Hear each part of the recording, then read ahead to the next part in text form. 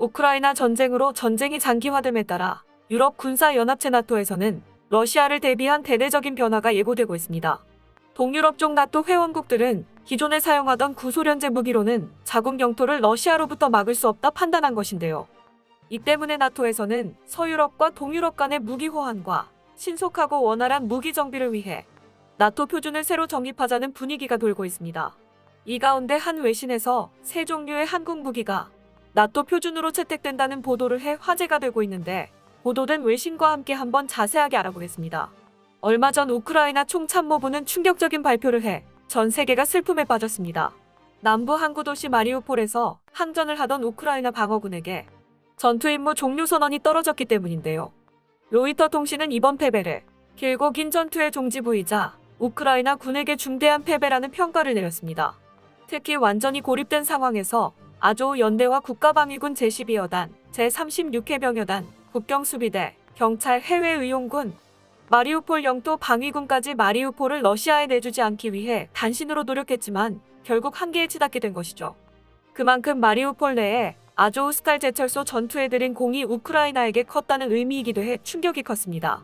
러시아가 이 지역을 손에 넣을 수 있었던 것은 전차포와 포탄의 압도적인 물량이 뒷받침됐기 때문이었는데요.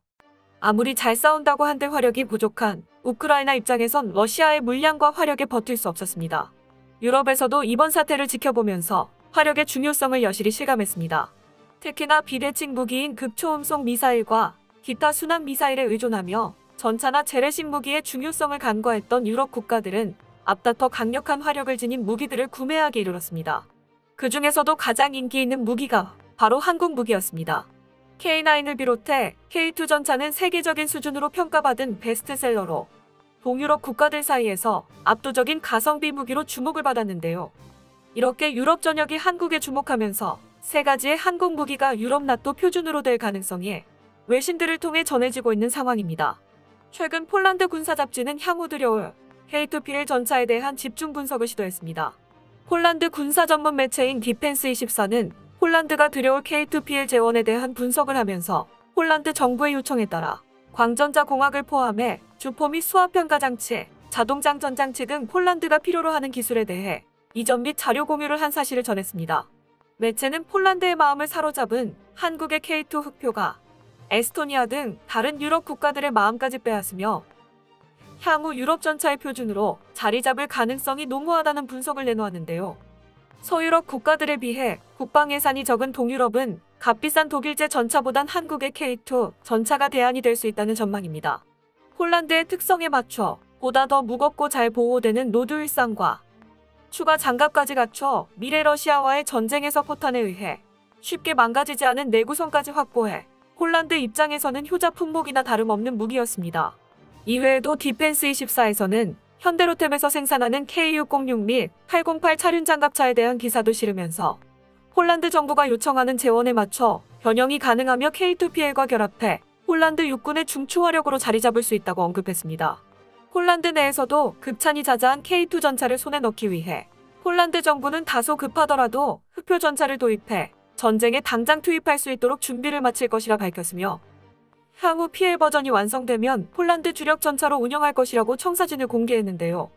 현재 계획 중인 수량은 600에서 800대로 우크라이나 전쟁을 지켜봤을 때 많은 수의 전차가 필요할 경우 추가 도입까지 고려하겠다는 말을 내비쳐 K방산의 수출액이 더 증가할 것을 예상할 수 있습니다. 이외에도 한국의 자랑스러운 수출품인 K9 자주포는 동유럽 시장은 물론이고 서유럽에서도 관심을 가지는 제품으로 장기화된 전쟁에서 전쟁의 승패를 결정 지을 수 있는 게임 체인저로 점점 몸값을 높이고 있는데요. 특히 최근 경남 창원 사업장에서 열린 K9 유저 클럽에는 현재 K9을 운용하고 있는 국가들이 모여 자주포 운용 노하우와 실전 경험을 공유하는 시간을 가진 것이 화제가 되고 있습니다. 이때 K9 운용 국가 외에도 이를 도입하고자 하는 국가들이 자리에 참석해 K9 도입의 장점에 대해 알 수 있는 귀중한 시간을 얻었다고 하죠.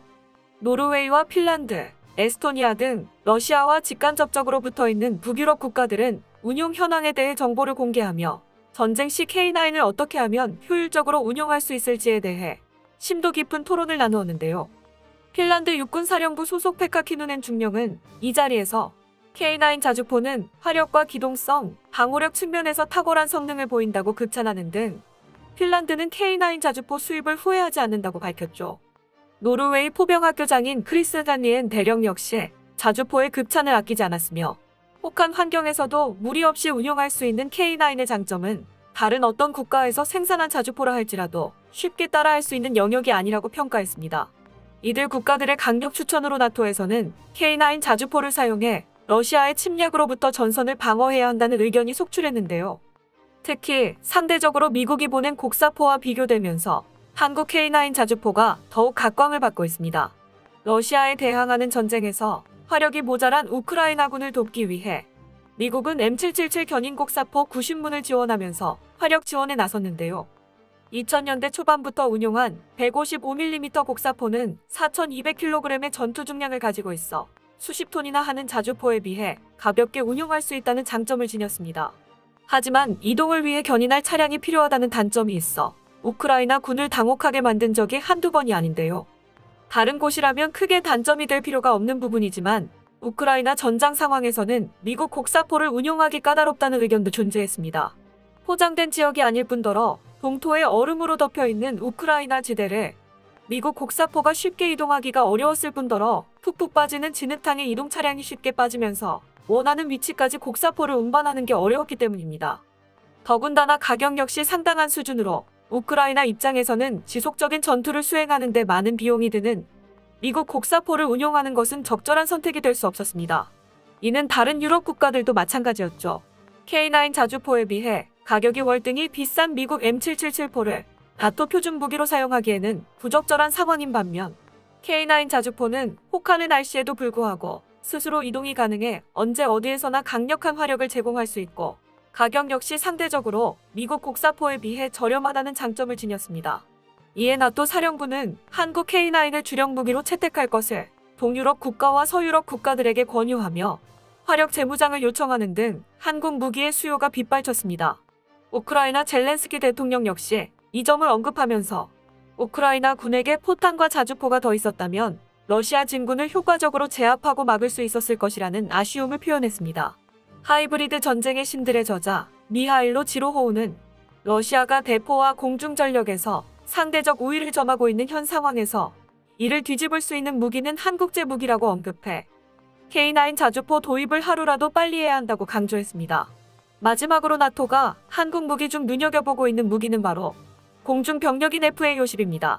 최대 이륙 중량은 12톤이 넘고 전투기에서나 사용될 법한 강력한 엔진인 F404가 탑재된 FA50은 원래 훈련기로 시작된 기종이었는데요. 하지만 화력 덕후이자 성능에 집착했던 한국인들 손에 들어가자 이 물건은 전투기로서도 훌륭한 성능을 내는 기체로 거듭났습니다. 무엇보다 상대적으로 저렴한 기종인데다가 주력 전투기로 사용해도 준수한 성능을 자랑하면서 훈련기로서도 합격점인 이 물건은 당초 애매한 포지션에 놓여 있었기에 많은 국가들이 수입하기에는 난감하다는 인상을 주었습니다. 하지만 전쟁이 고도화되면서 다양한 작전에 투입해야 하는 것은 물론 훈련기로서도 어느 정도 성능이 나와줘야 한다는 결론에 도달하면서 세계 각국은 FA50의 장점을 다시 보게 되었는데요. 한쪽에 특별한 장점을 보이지 않았지만 여러모로 쓸모있던 FA50은 전쟁에서 다목적 임무를 수행하기에 적합한 기종으로 주목받은 것입니다. 특히 85%를 넘는 FA50의 가동률은 기체에 대한 신뢰 척도가 되면서 전 세계가 군침을 흘리기에 부족함이 없었습니다. 당연히 FA50은 우크라이나 공군에서도 주목하는 기종이 되었죠.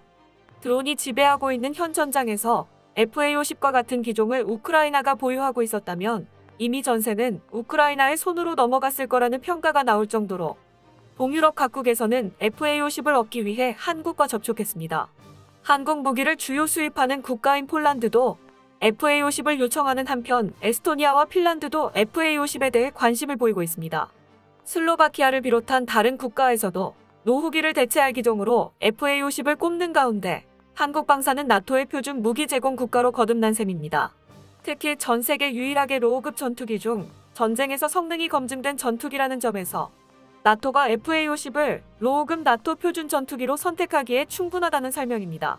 옌스 스톨텐베르그 나토 사무총장은 브뤼셀에서 열린 행사에서 장기전을 대비해야 할 필요가 있다며 현재 우크라이나 전쟁이 수개월 혹은 수년을 내다봐야 하는 전쟁으로 발전할 수 있다고 언급해 이를 위해 지금부터 철저한 대비가 필요하다고 얘기했습니다. 특히 그는 한국 무기의 우수함도 같이 얘기하면서 나토 표준 무기로 K9, K2 전차 FA-50이 채택될 가능성이 높다고 언급해 성능은 물론이고 가격 면에서도 러시아 무기를 압도할 수 있다며 한국의 생산력만 뒷받침된다면 이 무기들로 러시아를 압박할 수 있다고 선언했습니다. 한국의 방산이 콧대 높은 전통에 유럽 방산 시장을 함락하고 세계 2위 수준인 러시아 무기들을 압도하는 모습을 볼 수 있을 텐데요. 한국 무기가 지금과 같이 높은 인기를 누리며 각 국의 주요 무기로 자리 잡기를 기원해 보겠습니다. 끝까지 시청해 주셔서 감사합니다. 도움이 되셨다면 좋아요를, 다른 이야기도 궁금하시면 구독을 눌러주세요.